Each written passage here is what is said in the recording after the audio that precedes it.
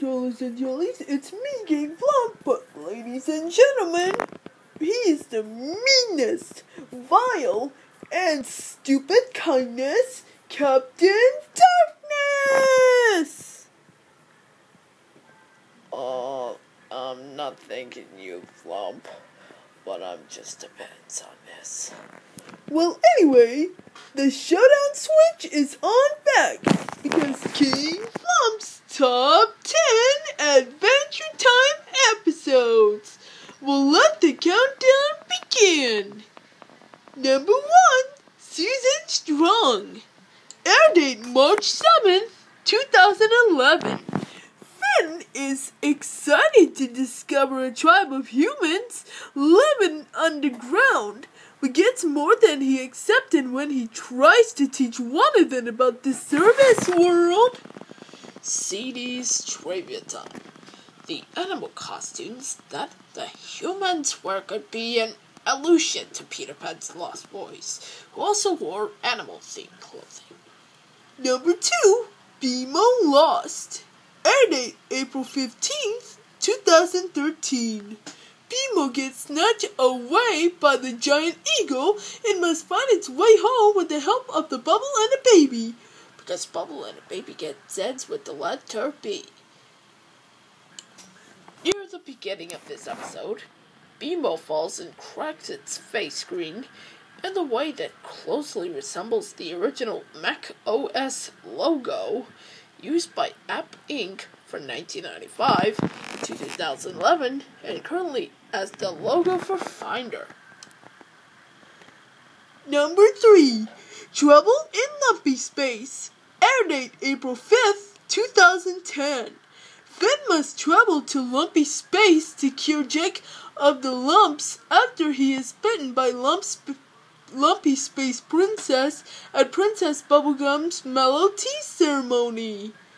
When this episode, along with Burning Low, aired on April 1st, 2017, the characters had googly eyes throughout the episode as well as the title card, which was part of Cartoon Network's April Fool's joke that year. Number 4. Daddy's Little Monster. Air date April 30th, 2012. Finn and Jake attempt to rescue Marceline and find out what is making her behave so strangely. This is part 2 of the two part episode coming after Return of the Nightosphere. The bottle of mustard Hunson gets from the fridge says, Cut the mustard, and has a picture of the demon, demon on it. Number 5. Who would win? Air date September 3rd, 2012. Finn and Jake are determined to take down the farm, but instead they fight each other for not training seriously. The music used in a long preview is similar to the opening of Eye of the Tiger by the band Survivor, used as a theme to the movie Rocky 3. Number 6. Elemento. Air date May 19th, 2016. Ice King digs up an item buried underneath the Ice Kingdom. The second slime elemental's clothes resembles Ash Ketchum from the Pokemon anime series. Number 7. Belly of the Beast. Air date April 4th, 2011. Finn and Jake go inside the belly of the monster to rescue a bunch of bears who had made its stomach through New Party Cave. The bears resemble Care Bears as they both come in different colors and have pictures on their stomachs. Number 8. Finn the Human. Air date April 12. I mean, air date November 12th, 2012.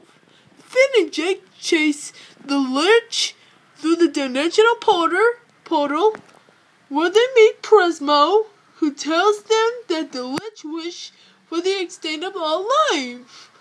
This leads Finn to wish that the Lich never even had existed.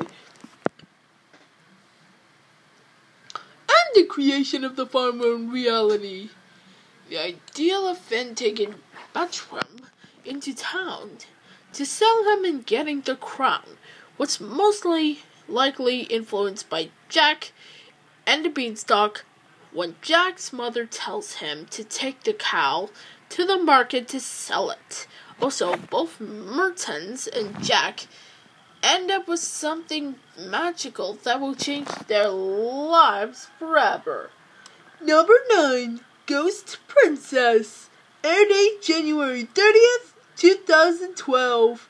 Finn and Jake head into Ghost Princess's cemetery to find the cause of her death while she finds true love, ultimately revealing her tragic past. This episode aired on Andy's Milonakis' 36th birthday, the person who voiced NEPTR. And finally, number 10, Donnie. Air date April 9th, 2010. When Finn and Jake see the bowling ogre named Donnie, they help him turn his life around, unaware of the ecological consequences of their action. This is the first episode where BMO had a speaking role.